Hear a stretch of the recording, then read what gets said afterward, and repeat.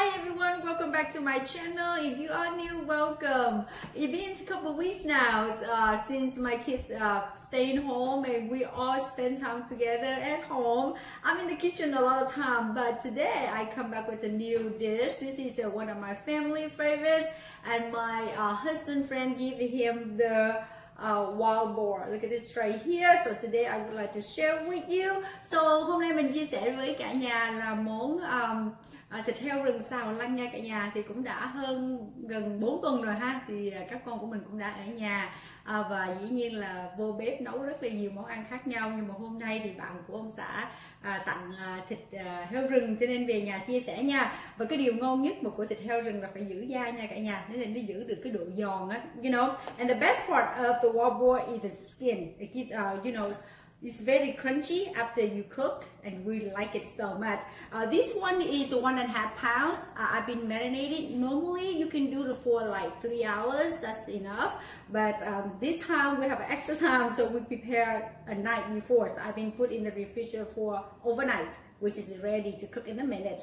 So cả nhà biết là thịt heo rừng thì mình ướp để qua đêm thì 3 tiếng là có thể là xào lên ăn là được rồi. Nhưng mà để qua đêm thì càng tốt tại vì trong lúc này thì lạnh rồi cho nên luôn chuẩn bị trước nha cả nhà. So right here is a, a một pound rưỡi thịt uh, heo rừng uh, và đây là một uh, củ hành hay một củ hành rưỡi lớn củ hành tây nha cả nhà. Và ở đây là nửa cây xả. Bên cạnh đây á, là tỏi và Ờ, gừng và cilantro là ngò. Với lại đây là đậu phụng mà mình rang mà mình giả rồi nha. À, và bên đây là cũng có nước mắm à, có dầu mè có ngũ vị hương và có ớt. And here go family. So ingredients is very simple easy. Right here is a medium size one or one and a half of the onion. Next to it is a half stalk of the lemongrass.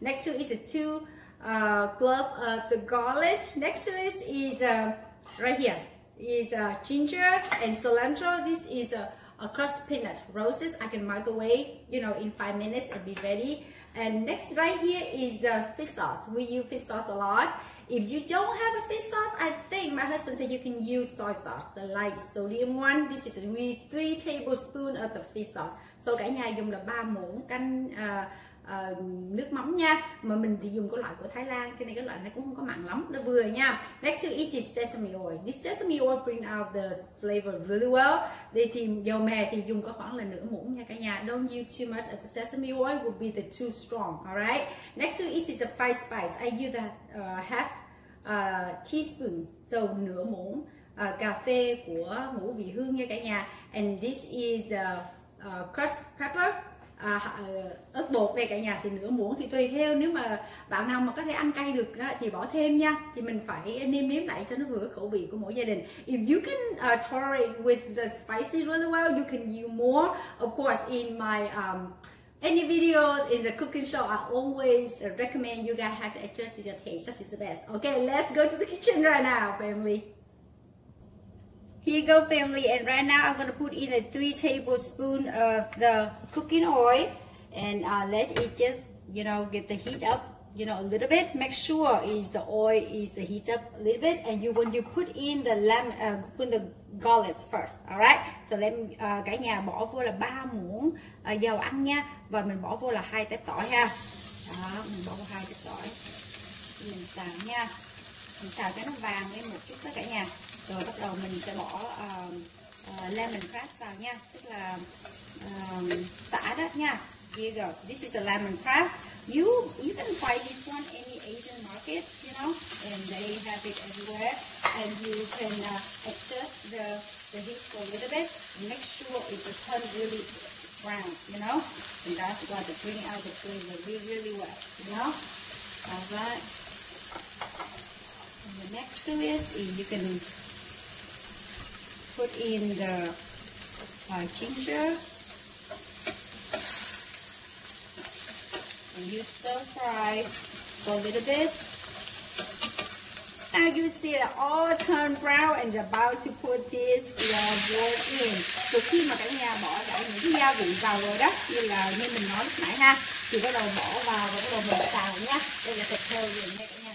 Thì phải nói rằng cái thịt heo rừng mà mình thích nhất vẫn là cái da đó, nó rất là giòn cả nhà nếu mà các bạn ở Mỹ mà ờ, có ai đi săn được mà cho một miếng về nhà mà xào ăn rồi thôi là tên cả tuyệt vời luôn á. Tại vì mình rất là thích cái ờ, cái, cái là các bạn thấy là nó mỡ như vậy nhưng mà mỡ này nó cũng hiền lành lắm nha. Tại vì heo rừng ở ngoài rừng thì chỉ ăn đậu rồi thôi cho nên là thấy rất là ngon luôn và đặc biệt là mình là người đến từ miền trung nữa đó cho nên là mỗi lần mà xào có dịp mà xào có món này mà ăn á là mình uh, ăn với bánh tráng cả nhà. Này cũng rất là ngon.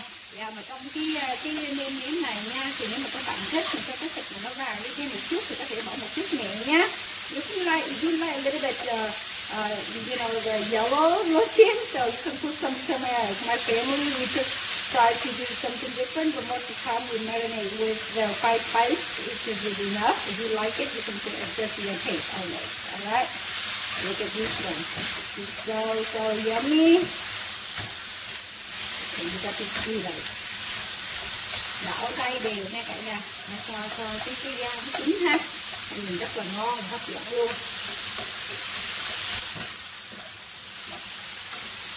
Nha it's just like that Okay, family, after I put it in and I stir fry really well for about like 20 minutes. You see it? You see how brown looking on the bottom of the uh, wok right here? So you're doing your to ready and looks so yummy and smells so good. And like I say, um, you know, only adjust to your taste, all right, family? And uh, we're gonna link the, all the ingredients in the description uh, below. Uh, so you just follow that instruction. So uh, nếu mà cả nhà interested cái recipe này thì uh, mình sẽ bỏ trong cái description nha để cả nhà vào để xem để uh, là có cái công thức để mình nấu nha. Thì bây giờ là nhìn là 20 phút sau thì mới lộ chín rồi nha cả nhà. And family, make sure when you put the meat in and stir fry, you put the high heat, alright? Phải để lửa thật cao nha cả nhà khi mình đổ thịt vào ha. Thì để mình xào như vậy trong vòng 20 phút là chắc chắn là thịt sẽ chín và rất là thơm luôn. And now I'm gonna put in the onions right here. It's so good, rất là thơm luôn cả nhà ơi, mình rất là thích luôn cái món ăn này nhìn nó rất là ngon. Và các con của gia đình mình cũng giỏi lắm nha à, tuy là các con sinh ở Mỹ nhưng mà mấy cái món này mà ông xã ướp xong là à, mang ra là thôi à, xúc bánh tráng là các con ăn. Hay là đôi khi cả nhà biết sao không? Mình luộc bún á mình ăn với bún cũng được đấy đó. Rất là ngon đó. Thì nói chung là tùy theo nha. Đôi khi các ông thì có thể là nhâm nhi với bia với, với, với, với bia ha. À, nhưng mà đôi khi gia đình mình thì thì lại các con ăn ờ, với lại bún hoặc là cơm hoặc là súp bánh tráng là phần nhiều là súp bánh tráng. So you just put the green uh, the onion in and you just stir fry you know? You stir fry. Look at this one. It's so yummy it smells so good and I like the the part. Down here family look at this. All this. Because seasoning that's what you have to put in the high heat. Look at that one. So so yummy. I'm gonna pull out I'm gonna plate it. And I put the crushed peanuts on the top and we'll show you the final product. Here you go family, our plate is right here for you to see and it looks so yummy right? Đây là heo rừng áp chảo thì chắc chắn là cả nhà biết rất là hấp dẫn được phải không nào? And right now I'm gonna put the crushed uh, peanuts on the top. This is so yummy, we love it so much and of course when you cook it, make sure you cook with a high heat. That is very important to turn brown a little bit or order to bring out the flavor really well. So cả nhà ơi, đây là à, dĩa thịt à, à, heo rừng xào lăn giả xong rồi nha. Và cái cái bước cuối cùng là mình bỏ à, à đậu mình giả ra đó. Và cả nhà ơi, đây đây là dĩa heo rừng áp chảo đã xong rồi nha. Mình vừa mới bỏ đậu à, à, rang và mình bỏ lên phía trên đó nhìn rất là hấp dẫn phải không cả nhà? Nhìn ngon lắm luôn ngồi đây rất là thơm luôn. And the next step is uh, đây là bánh tráng nha cả nhà. Thì mình thích nhất là ăn của bánh tráng so this is a uh, rice rice paper. You can find this at any Asian market. This is a black sesame. Uh, normally I uh, soak in the water for a little bit. Under you know let it water run for a little bit. I put in the microwave for one uh, one minute 50 seconds. So cả nhà bỏ vào và microwave nha. Thì mình mình nhúng nước nhưng mà nếu mà cả nhà không thích thì cũng không có sao nha. Thì để cho cái bánh nó hơi thẳng thẳng hay là không có cong quá đó thì mình cũng nhúng nước. Cho nên thường thường thì à, người miền trung thì ăn thì thích là xúc bánh tráng nha. Cho nên mình ăn thử coi như là cái vị như thế nào. À, đôi khi à, ở nhà lâu ngày quá thì phải tìm những cái món ăn lạ lạ để thưởng thức phải không? Cả nhà thì nếu mà có dịp mà ăn những cái món này là trên cả tuyệt vời luôn. Thì chắc chắn là mình rất là thích cái mỡ heo này cả nhà. Rất là ngon rất là giòn.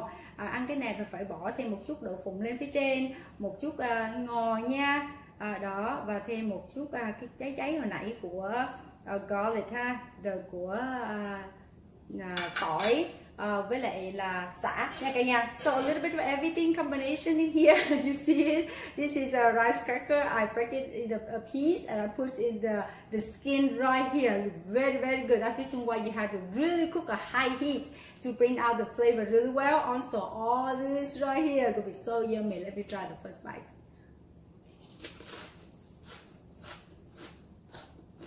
Mmm, so good. Ngon lắm nha.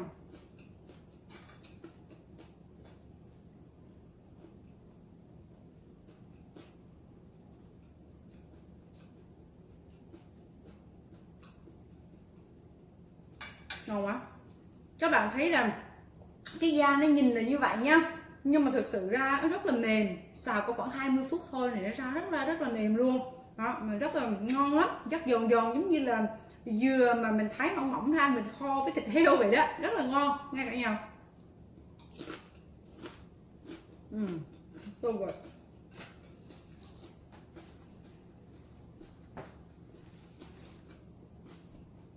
ngon quá rất là thơm.